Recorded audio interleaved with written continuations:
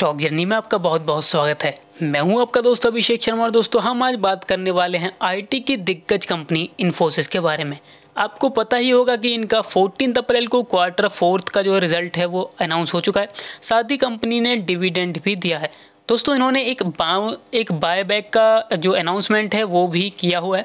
इसके बाद यदि हम देखें कि इसके शेयर में एक भयंकर गिरावट जो है, वो देखी जा सकती है और इसका शेयर जो है, लगातार गिरता जा रहा है।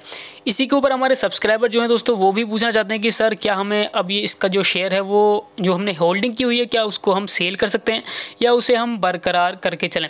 दोस्तों, यदि हम एक न्यूज़ देखें, देखिए न्यूज़ में भी दिया हुआ है दोस्तों why Infosys share plunged six percent after quarter fourth result and share buy back तो ये एक गिरावट वाली न्यूज़ है दोस्तों। लगातार इसका शेयर जो है वो गिरता ही जा रहा है। वहीं कंपनी ने कहा है दोस्तों, ये देखिए the sequential growth was uninspiring इन्होंने माना है कि हमारी ग्रोथ जो है वो अनइंस्पायरिंग है अभी।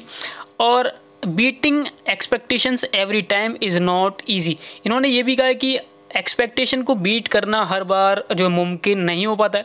दोस्तों, क्योंकि इनका कहना भी सही है, यदि हम कंपनी को देखें तो ओवरऑल बहुत ही शानदार कंपनी हो जाती है।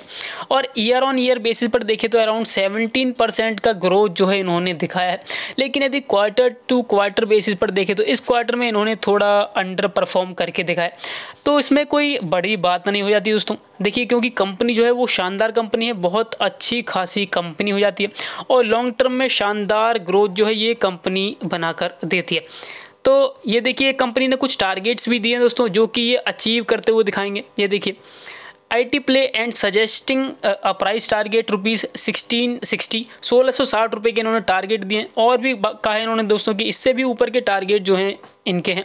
और आने वाले क्वार्टर में अच्छा खासा परफॉर्म करके ये कंपनी दिखाने वाली है।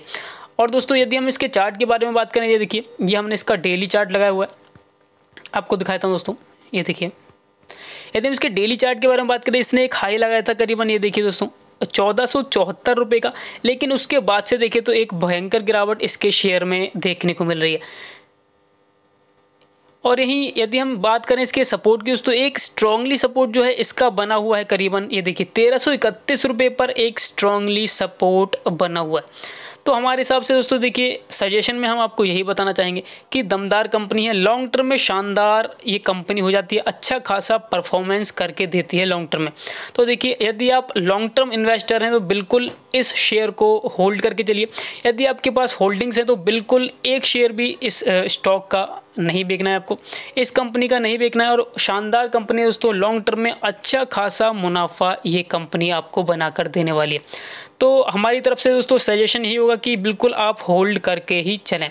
तो ये बताने के लिए हमने वीडियो बनाई थी दोस्तों, यदि आपको हमारी वीडियोस पसंद आती हैं तो प्लीज़ लाइक करें शेयर करें और सब्सक्राइब करें। और इसी प्रकार की जो भी अच्छी न्यूज़ होंगी लेटेस्ट शेयर्स के बारे में हम न्यूज़ लेके आते रहेंगे आपके लिए। वीडियो देखने के लिए बहुत बहुत धन्यवाद।